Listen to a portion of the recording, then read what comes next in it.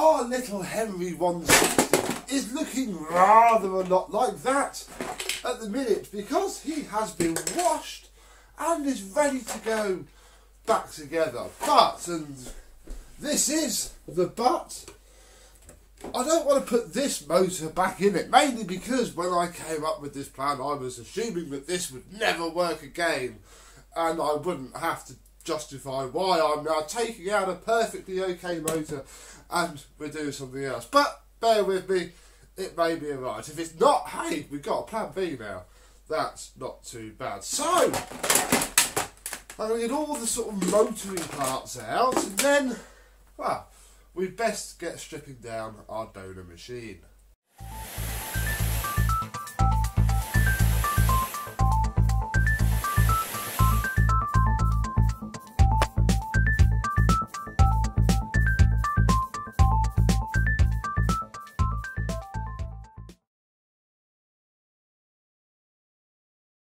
Yes, hello, my vacuum cleaner chums. How are you today? No, your eyes are not deceiving you. This is a Miele C2 Extreme Power Line. And I think it does work.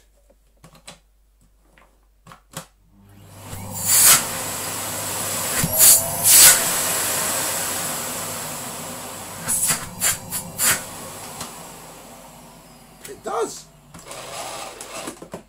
It works very well. yes, my idea is to try and fit the motor from that into this and with all that goes with it. So to start with, and I know you have to be careful about this because I don't want this anymore. Look, it's got a horrible. This is one of the leftovers from Miele Fortnite that I have no tools for. It's not worth doing.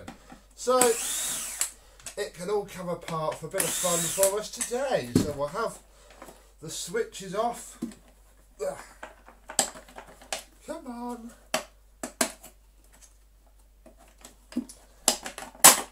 There we go. Oh, I need this interconnect part there.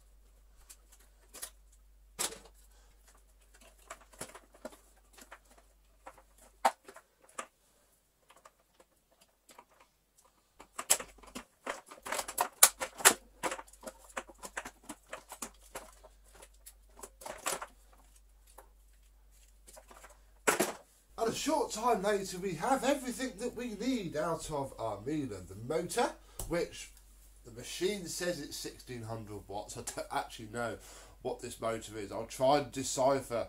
I've just had a look for the type number, but it's full of listings that are no longer available or have zero information. So I actually know what wattage this unit is. Doesn't matter, should be a moot point. This is the wiring harness for this motor the PCB and the speed control knob. Because yes, my ideal is to try and fit the speed control from this to our Henry 160. Um, yeah, that's what makes this a little bit of a more fun project. Because eyeballing these, I cannot help but notice that they look very similar in size which will hopefully be a big part of this mod, is just the fact that we can use a motor that will near drop in. Ooh, gonna have to shave a little bit off. Ah, that's more rounded than this. If I can literally just chop the corners of each of those out, we might be in with a chance.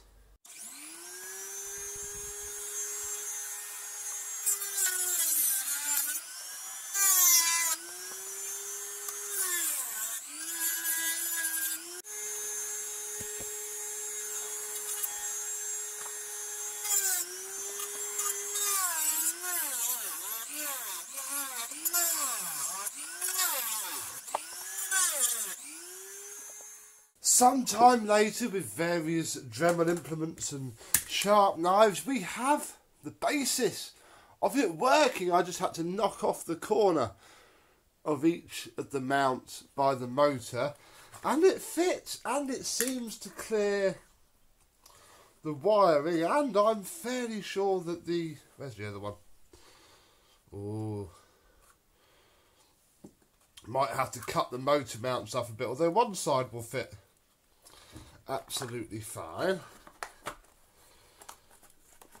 And in fact they're not really needed because this is a, this is pushing down on the mouldings of the motor. So as soon as that's clamped down that's not going anywhere. Also seems to sit completely happily in. Take this out because oh, we need to wire it up in a minute. It fits inside the original Numatic motor mount. It's almost as if they knew that one day an idiot would be coming to fit a Miele motor to one of these. Right, let me get to the next stage, which is sort of that, really. Even the original sound ending look, which washed up very nicely indeed, should push straight back into there, like so. God. Looks very original, doesn't it? Like I say, this this isn't going back together quite the right way because it's got to go in upside down. But that's fine.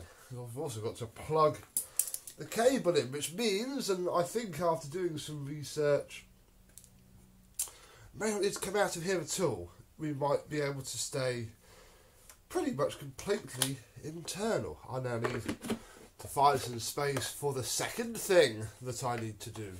The next thing that we need to do is to heat our soldering iron and on this board mark the polarity of this as long as you do three same coloured dots corresponding to each corner the next step will go a little bit easier because yeah this whole part here has to come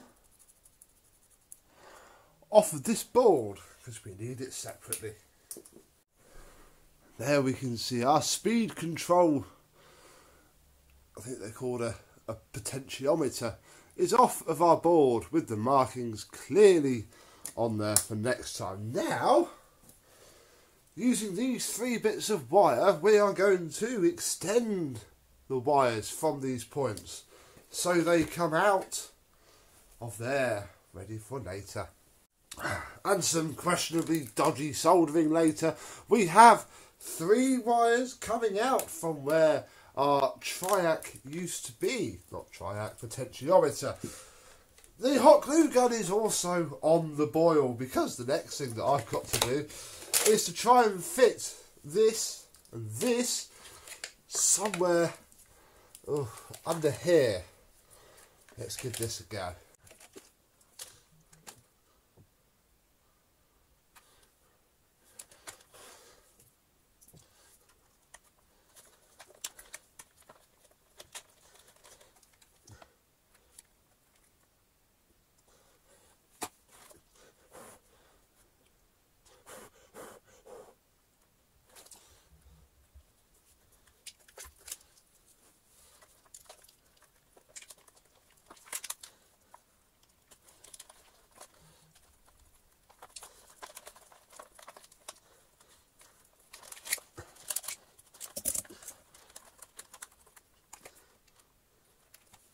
I didn't fit around the outside, so it's all been rearranged. I'm hoping heat isn't going to be a problem. We have our main feed wires, they need to be tapped off the side of that. We have our three speed control wires and our two switch wires here.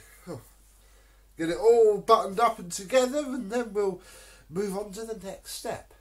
The lid is now on the motor housing and what I'm doing is connecting the incoming power wires from here with a little spur off to the side for something else which we shall get onto later when all this mess is back together but hopefully once that is done and this bit is clipped on, hoping that all the joints will sit nicely under that bit.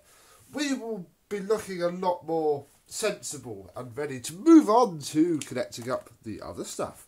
And after a bit more working out, moving things about and trying things out, which is what projects like this are all about. We have this, our Henry is down and seated correctly. I had to chop out a little bit there to get all the cables to run. It's quite fiddly but also quite handy because this would have been underneath before and works alright. We have our first mod, which is no, our second mod because we got a motor, a power socket from an older MV250. The minute crimped on like that with a bit of hot glue because the crimp is the wrong size, but there is a bit of a plan for that, so don't worry too much.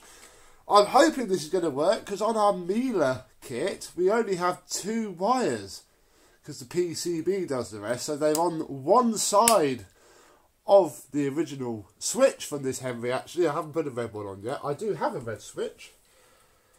I just don't know if it's going to be. At least if it's green, I can tell where it is. So we'll leave it green for now. But yeah, hopefully that will work. The next thing to do is these three wires because yes, the second part of this hack is I want to try and fit speed control to this Numatic and create a speed control Numatic and it actually looks quite simple because this is the cover that clips look I can even tuck those over there that they kept the mouldings for when the PCB used to go in. That's quite handy should have utilised that shouldn't I?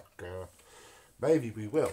That clips on there and you can see there's already a small hole in there and that's because this is our potentiometer and it will fit in the back of there like that. And I'm going to have to leave a little bit of length on these cables and they're going to have to tuck them up in there because we're going to have to get this on and off a little bit. But I'm hoping that we can fit it to the machine which then leaves us onto this which is the hood. And basically I'm going to have to drill a hole hence why I've marked the hole for oh you can't even see that. There we go. Hence why I marked the hole so I can punch through. Sits on there. And drill through the back of our hood. Hope it's in the right place. Otherwise I just ruined a Henry 160 hat the last bit which I have done sits underneath this hole. Yes, now has the speed control from the Miele circuit board hot glued and hopefully soldered in place and that all, as you know, goes off over yonder. So with the original clip fitted, we can hopefully, I've not tested this yet, got the cord reel in. And I've got to wind it up because I've got to put that on the back. Then we can grab the cable exit grommet the same as every Numatic slide it into place. And then uh, drop the lid on flip it upside down stick it back in the bucket and do up the screws.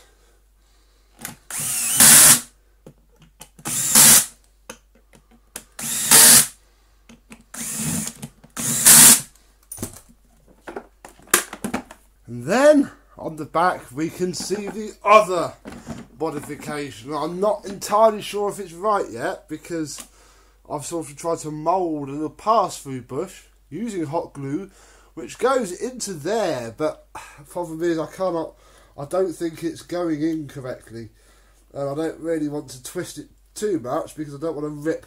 I think that is actually stopping there. It will stop now from the potentiometer rather than the inbuilt mouldings from the Miele, but we can fit the wash filter. All of this has been washed and dried and cleaned up mainly so that I could film this without getting completely disgusting. And we shall switch on. I have no idea if this is going to work. Go bang, not do anything. We are doing this together. Are you ready? Oh.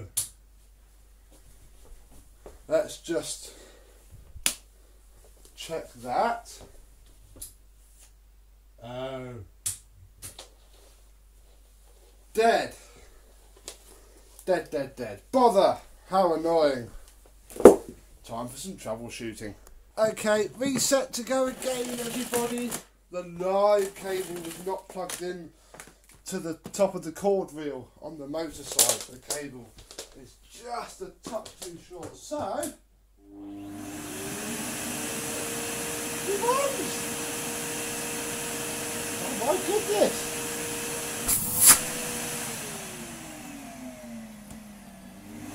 Ah, soft start. Now the big question is.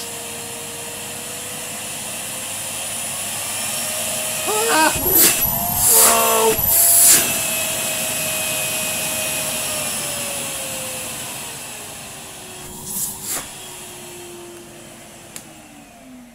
Yes, folks, we've done it. We've a. Admittedly, that needs. That's about the only bit that needs work. The rest of it, it's gone. Excellent suction. I mean, on its full setting, ah, it can hold. I can pick the whole machine up. Oh, this is brilliant. Right, let's get all this rubbish cleared up and we'll use it, use it. That needs to go back in next time we have it open because that is what came out. Oh, fantastic.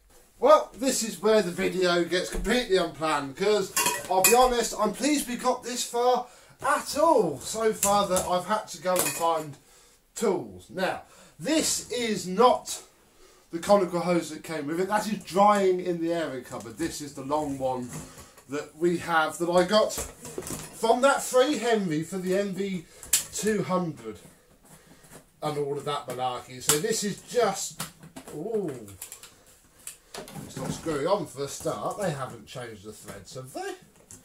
Or is this just a knackered old hose? Ooh. It's going on. Okay, well, we'll leave it like that for now. So yeah, big stupid overkill hose. Oh.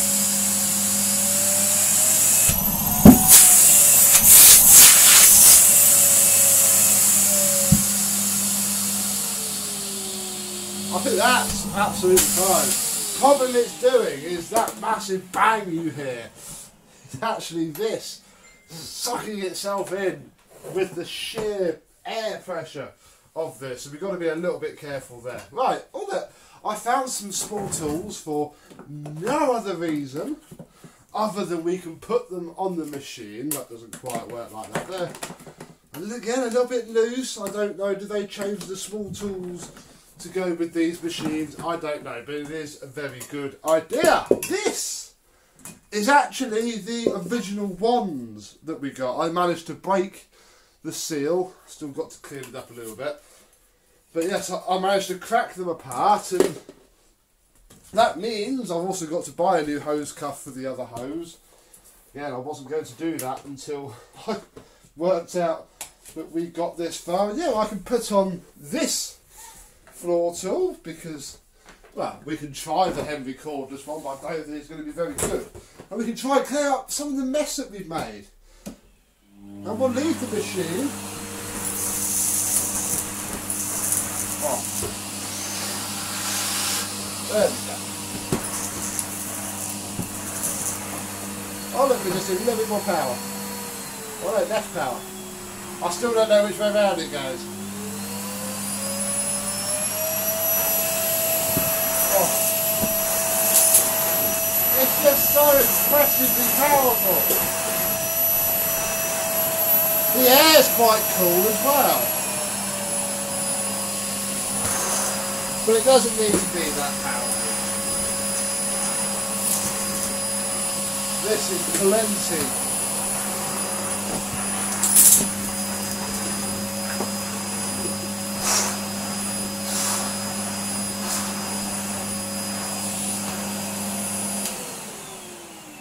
I don't even know where the Henry cordless throttle. Ah, here it is.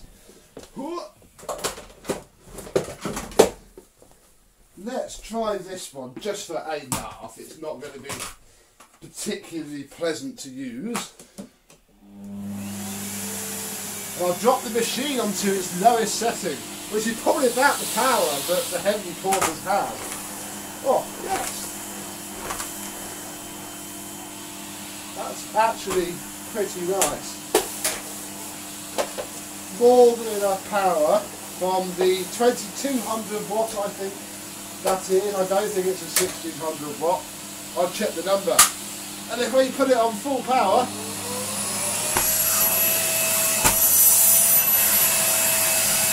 I cannot really clean the tool. I can, however.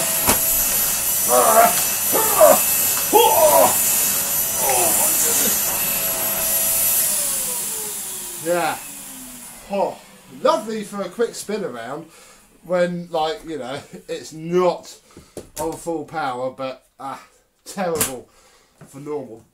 Now, some of you probably noticed that. Welcome back. Where? Well, you've all noticed this looks very familiar. Yes, and all of this and going down to the power socket. Yes, I have modified this new Numatic which doesn't have power socket or speed control Two now have both. Now, slight drawback of this either for now or forever is that the power socket is actually wired straight from here. It doesn't go via the switch as it does on the older ones. That's obviously because I can't use the switch in the conventional way. If, if I put voltage to one side of the switch, it'll blow up the Miele PCB. So it is a little bit um, instant, shall we say.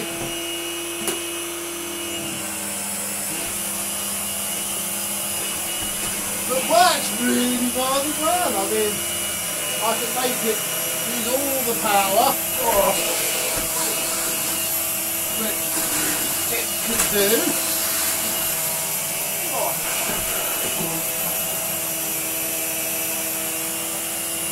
Or I can just go down to a more sensible speed.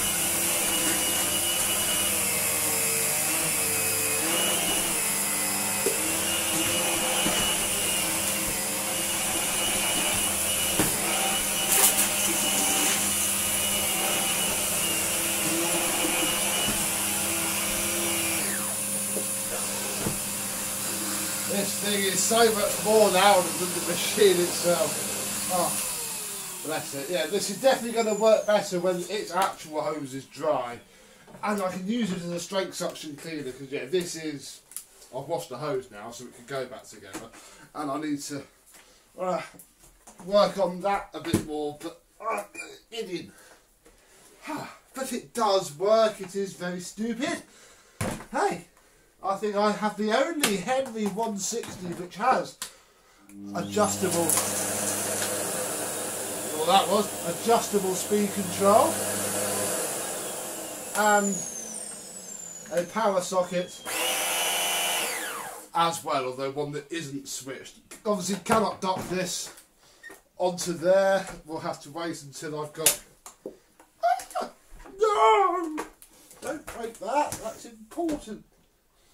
Oh, I think that probably won't be in time for the next video, maybe. I don't know, but I think this isn't working. Well, obviously it works, but it's not working or anything. What I've got to try and do is find a panel mount one, so that I can, you know, probably use that same hole and just have a proper knob, because that's just stuffed in. And it, it works, but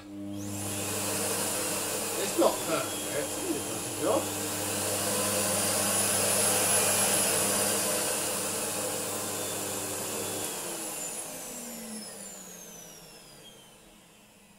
But it isn't ideal. So yeah, I think a bit more improvement to do. This hose definitely doesn't like going onto this machine. That's very strange. In fact, I've got the original. I've got the new hose cuff here. Oh yeah, that's much different. Oh, they changed. They have changed them. Yeah.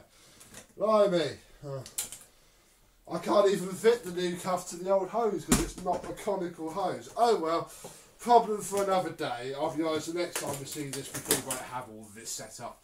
Anyway, it'll just be this because yes, there is one more video we have.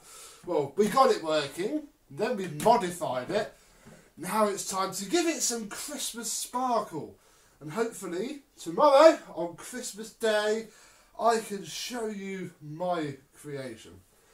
So until then, thank you very much for watching. I hope you've enjoyed, and I and my custom Henry 160 will see you soon. Bye bye.